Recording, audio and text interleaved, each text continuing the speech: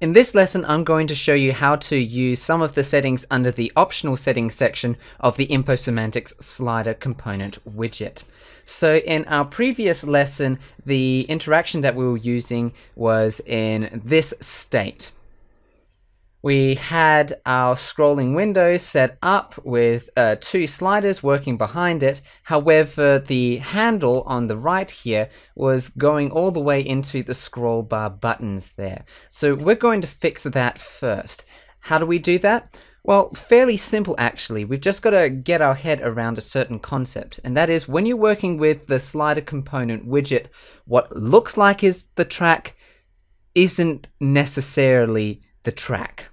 So what do I mean by that? Well, you, if I select the uh, image that we're currently using for the track right now, the scroll bar track image, you can see how its boundaries extend all the way into the scroll bar buttons, and that's why uh, the, the highlight box is also extending that far as well. So what I'm going to do is I'm going to use another object as the track for this slider. I'm going to add a highlight box and I'm going to get rid of the stroke around it. Then I'm going to select the scroll bar image here and shift select the uh, highlight box here and I'm going to pull down my align section. I'll align the highlight box to the scroll bar image and then I'm going to resize it so it's the same size as that just like that. Lovely. Let's put the align section back. Then I'm going to zoom in on this highlight box here and I'm going to resize it so it no longer goes over the top of the scroll bar buttons. Uh, go down the bottom and do that for the bottom one as well. Lovely. Okay, then we'll rename this highlight box. What will we call it? We'll call it scroll bar track other. Lovely, nice and descriptive. Press Control 1 to zoom back out. And then I'm going to double click on my scroll bar slider widget. And under the track section, I'm going to swap out scroll bar track for scroll bar track other and click OK. Let's press F8 to preview this slide and we'll see how that handle works.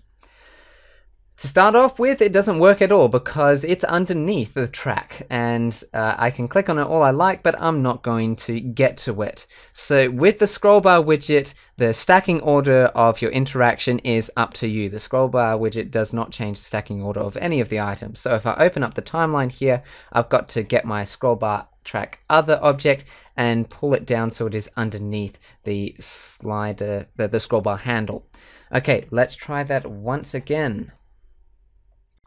Okay, so now when I try this out, the handle no longer goes over the top of the scroll bar buttons, but I've got this ugly highlight box working as my track. What can we do about that? Well, quite a lot. If I go back into the scroll bars widget, under the track section, you see I've got a checkbox there for hide. If I turn that on and then republish the movie, we will see that the widget has gone and hidden that highlight box, making it look like this image that we've got here is the track, but in actual fact, it's the scroll bar that is behind it. Okay, so we want to make this scroll bar work exactly like any scroll bar the user would encounter would work.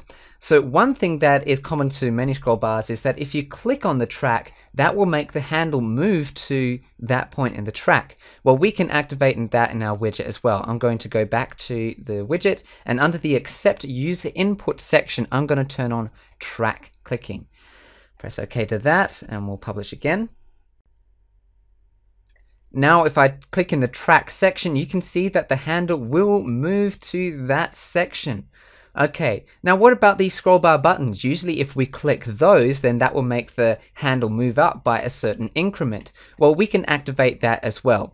Let's close back out of the preview, go into our widget again. Under the optional settings section, there is a part there for scroll bar buttons. If we turn that on, we can put in a name for an object that will be used as the up button and a name for the object that will be used as a down button.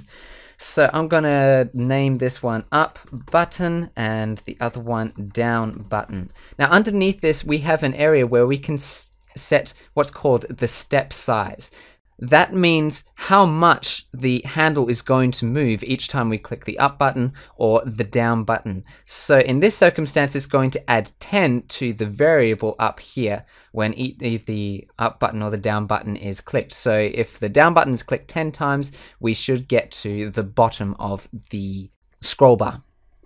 Okay, let's close out of that and we've got to create this up button and this down button thing. So I'm going to create myself another invisible highlight box, which I will tell you honestly is my weapon of choice in pretty much everything. Let's zoom in on that scroll bar area there. Okay, I'm going to put my highlight box over the top of this scroll bar button resize it so it works in just right. Lovely. I'm going to name this invisible highlight box up button. Okay, let's copy it and then paste it and we'll move it down to the bottom where we've got our down button and you can probably guess what's going to happen now. I'm going to place it so it's over the top of the down button and name it down, whoop, down button. Okay, Control 1 to zoom out to normal zoomage, and then F8 to test this movie, and let's see how it works. Okay, now when I press the down button, the handle moves down, and when I press the up button, the handle moves up by 10 points each time. Okay, so Lovely. There we go. One other thing that scroll bars usually do is that when we use the mouse wheel on our mouse, they'll move up and down. However, as you can see, I'm moving my mouse wheel here and this scroll bar is not responding to it. Well, we're going to have to enable this for this slider. Okay, close out of the preview. Once again, jump back into our widget. Under the accept user input section, there is a part there for, you guessed it, mouse wheel. Let's select that. There are a number of settings underneath there. Don't worry about those for the moment, with the exception that there is also a step size section there, which works pretty much exactly the same as the step size section for the scroll bar buttons. That is, it allows you to determine how much the mouse wheel is going to scroll the handle by. Okay, let's try this. We'll go publish this slide again. Now when the interaction starts, I'm going to use my mouse wheel and as I move it down, we can see that the handle is moving down and then as I move it up, the handle is moving up. Fantastic job, bucko. Okay, however, there are some circumstances where using this mouse wheel gets a little troublesome. Let's have a look at one of them. We'll move back to slide 2 over here. You may remember this interaction from previous lessons. Okay, so what happens if we went into our top widget over here, we turned our mouse wheel, okay, and then we went into our bottom widget and we turned it on there as well.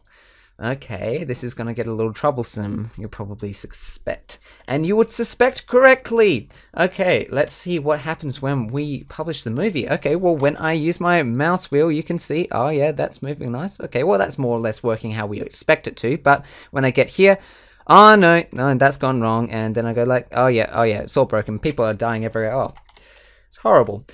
Okay, how can we fix this? Well, inside the widget, if we go back there, there is a section there for rollover objects. If I select that, now when I roll over the slider, that is the only instance when uh, the slider is going to respond to the mouse wheel. So let me go and do that for the bottom widget as well. Turn on rollover objects there. Test the movie again. So now if I have my mouse wheel outside the sliders here and I use um, my mouse wheel here, okay, you can see neither slider is ro uh, rolling. But if I roll over one of the sliders and then I use my mouse wheel, Yet you can see that it is moving it there. Roll out, not moving, roll into the other one.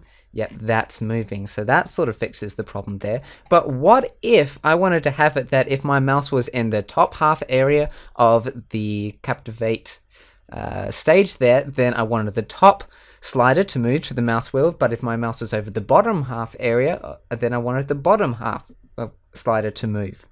Well, we can do that too.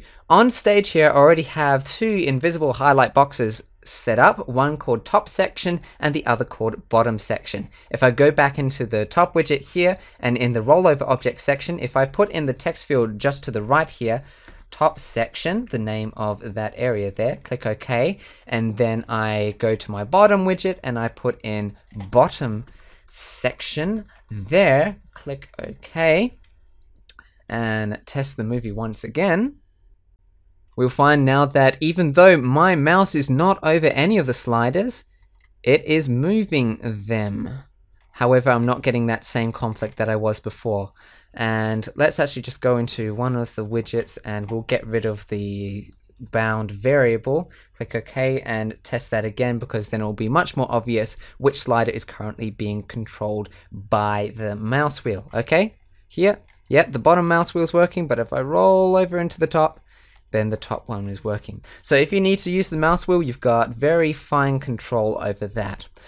Okay, before we finish off, let's just go back over to the, uh, the scrolling window example. Now, if I test the movie here, this is a sort of rare example uh, of where we wouldn't actually get a bug with this, but um, as you recall, this area of the scrolling window here, this is another slider, but usually when I grab the handle of a slider, it will move up and down. The only reason why it isn't in this case is because I've got this dirty grey image over the top of it with this invisible area that I can't click through to get to the bottom. However, if I brought the scroll area to the top so that it is now over the top of the frame, and then I tested the movie, now when I uh, mouse down on this list here, you can see that I'm able to scroll it up and down. Now that may be a bit of a problem because if you're using a desktop computer, generally uh, these areas don't work like that. You can only move them up and down using the scroll bar over here. So how can we fix this? Well, what we can do is go back into this widget and we've been talking about the accept user input section over here. We've been turning on the mouse wheel, the track clicking and stuff like that. However, we can actually turn off user input altogether for this widget by going over here to the right side here and turning off that switch. Click OK to that and now when we publish the movie, we'll see that when we move, we try and mouse down on the slider, we're not able to drag it. So this slider is now only able to be moved by its controlling variable. Okay, so we learned a lot in this lesson, but in the next lesson we're going to learn even more, and it's going to be about the attached items section underneath the optional settings here, and all the wonderful things that you can do with it.